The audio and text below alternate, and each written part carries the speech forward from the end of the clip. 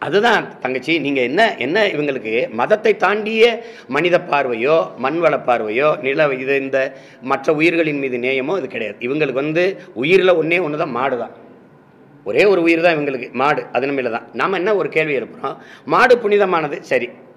மாடை கொல்லக்கூடாது சரி. உலகத்தில் மாட்டுக்கறியை அதிகமாக ஏற்றுமதி செய்கிற நாடு எது? இந்தியா. இருபத்தி நாலு லட்சம் டன். இந்தியா அதிகமாக அந்நிய செலவணி ஒரே ஏற்றுமதி மாட்டுக்கறி தான் மாட்டுக்கறி விற்று வர்ற காசை நாங்கள் சாப்பிட மாட்டோம். சொல்லுங்கள் மாட்டின் மீது பற்றி கொண்டவர்கள். சொல்லுங்கள் ஏன் மாட்டுக்கறி மாட்டை கொண்டு ஏற்றுமதி செய்ய அந்த காசு இனிக்குது. ஆனால் நாங்கள் கறியை சாப்பிட்டா கொண்டு வருவீங்க. எப்படி இது? ஊரானு கூட்டு விடியே உள்ளவன் சாப்பிட்டா கொண்டு வருவீங்க. இது ஒரு தர்மம். இதே கதை தான் மதத்தை தாண்டி இவர்களுக்கு ஏதாவது கோட்பாடு இருக்கா? ஒரு கேள்வியை கேட்போம் பாரதிய ஜனதாட்ட. என் மலை கலவு போவது என்னைக்காவது வருத்தப்பட்டிருக்கா? உங்களால் மலையை உருவாக்க முடியுமா தங்கச்சி? உங்களால் மணலை உருவாக்க முடியுமா? உங்களால் உருவாக்க முடியாத அழிக்கிற உரிமையை உங்களுக்கு யார் கொடுத்தது? வளத்தை சுரண்டி கொடுப்பதை நீங்கள் அதுதான் வளர்ச்சி என்று உங்களுக்கு கற்றுக் கொடுத்தவன் யார்?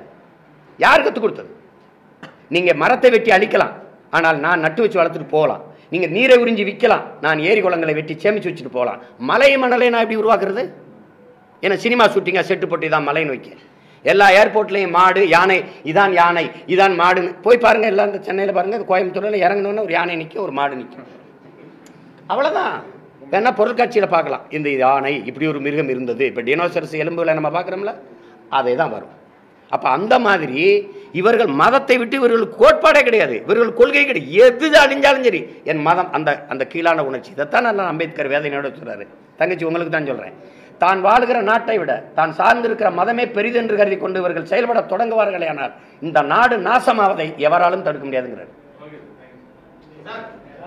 நீங்க சொல்றீங்க நாம் தமிழருக்கு வந்து ஃபண்டே இல்ல அப்படின்றீங்க. ஆனா சமூக வலைத்தளங்கள் எல்லாம் சொல்றாங்க ஃபாரின் ஃபண்ட் வந்து கோடிக்கணக்கில் வருது. பொதாத படைக்கு பிஜேபி வந்து கொட்டி கொடுக்குது சீமானுக்கு பணம் அப்படின்னு. தயவு செய்து வாங்கி கொடுங்க.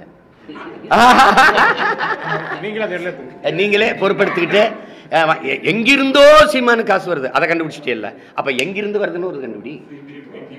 உன் புலனாய்வு அறிவை வச்சு எங்கிருந்தோ வருது. அதை கண்டுபிடிச்சிட்டேன். ஆனால் எங்கிருந்து வருதுன்னு எனக்கு ஆயிரத்தி நூறு கோடிக்கு சொத்து பட்டியல் வெளியிட்டேன். பத்திரத்தை வெளியிடலை. நீ பாதி நான் பாதி. யா இதெல்லாம் இங்கே பாருங்க இவ்வளவு இவ்வளவு இதில் ஹவாலாவாக வருமா? இல்லை இருங்க இருங்க இவ்வளவு வங்கி கணக்கில் வருமா? எப்படி வரும்? எப்படி வரும்? எல்லா தலைவர் வீட்லையும் ரைடு போடுற பிஜேபி என் வீட்டில் ஒருத்தரை போட்டு எடுத்துகிட்டு போக சொல்ல வேண்டியதானே சும்மா ஏதாவது எதையாவது சொல்லணும்ல.